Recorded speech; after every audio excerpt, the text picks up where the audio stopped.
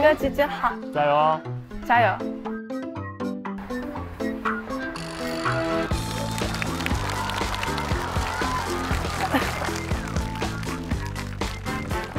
大家好，我是九年级三班的赵一凡。呃，我的妈妈是一个超级棒的妈妈。前一段时间我的脚崴了，呃，我在学校校医室两次点打电话给她，他一下班就匆匆忙忙的送我去医院，一直搞到凌晨一点才回家。在我养伤的期间，他停掉了手头上所有的外出工作，只为了每天能接送我上下学。在这个初三，在面临中考的初三，所有同学都停掉了手头上的兴趣班，报了好几个补习班。只有我，在我对他提出说我想报一个声乐班的时候，他毫不犹豫的就答应了我。提出说我需不需要报一个补习班的时候，他说没关系，妈妈相信你可以的，不要太累了，给自己太多压力了。他似乎永远都对我那么好，可我却无以为报。妈妈，我想跟你说，你对我的好。我一直都记在心里。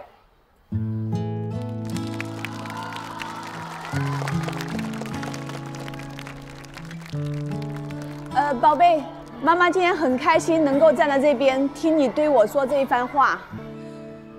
刚刚你有在提到有几个事情，我妈妈也想跟你做一点回应。第一个就是说，你说你的脚崴了，妈妈认为这个事情是妈妈的责任。当你打电话给到妈妈的时候，第一次我还记得那天妈妈正在开一个比较重要的会议。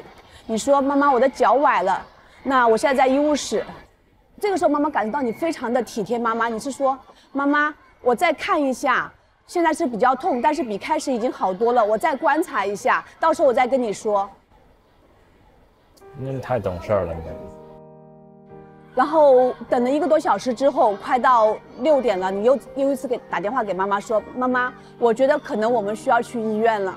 他现在情况不是那么好，还是那么的痛。”这时候妈妈其实是有点慌了神的，我不知道情况是怎么样，因为我当时在想，我当时其实，在打车过来学校的路上，我是很怕的，我不知道你的脚崴成什么程度，有没有轻微的骨折或者怎么样。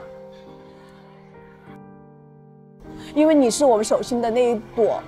妈妈觉得是我手心里面的那个宝贝。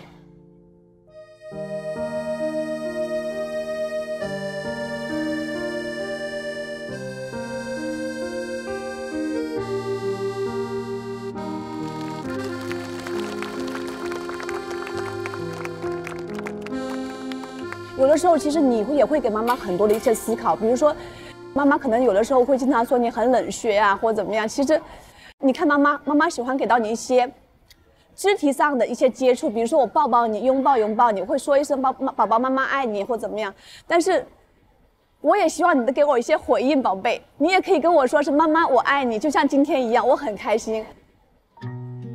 所以妈妈也希望你能够更直接一点去表达你的感情，不要太内敛。妈妈，我不是一个冷血动物，对你的，我对你的好。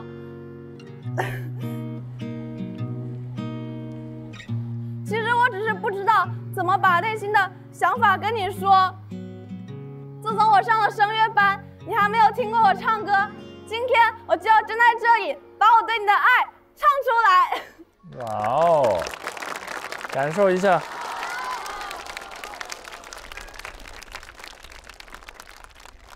我明白，太放不开你的爱。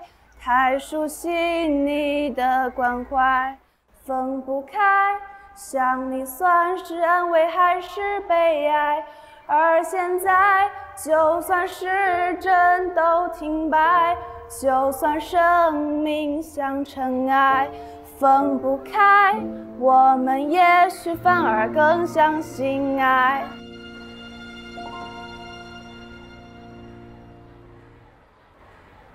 妈妈，我爱你。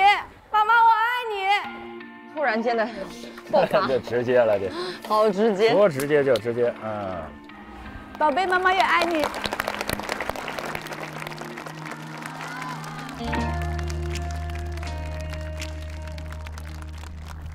我来找你了。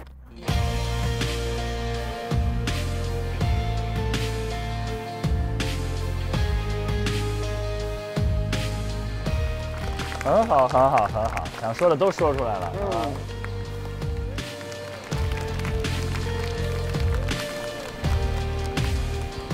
哎呀，宝贝妈妈挺开心的。啊，对呀。